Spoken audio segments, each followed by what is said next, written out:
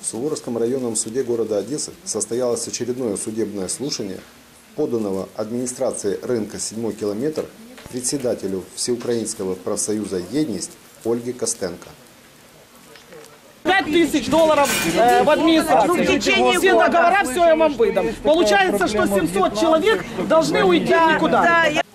Накануне состоялось судебное слушание в Овидиопольском районном суде Одесской области, поданного администрации рынка «Седьмой километр» председателю Всеукраинского профсоюза «Едность» Ольге Костенко.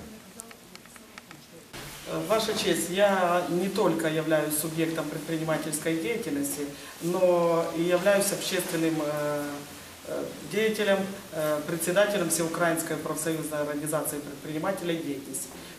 И впредь буду защищать и отстаивать интересы э, членов э, нашей организации и предпринимателей, которые непосредственно осуществляют на э, опром товарном рынке «Седьмой километр» свою предпринимательскую деятельность.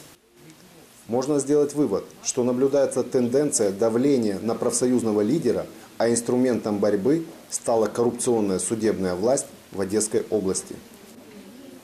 Представители общественного проекта судебной власти «Народную реформу» взяли вопрос по судам над Ольгой Костенко под общественный контроль.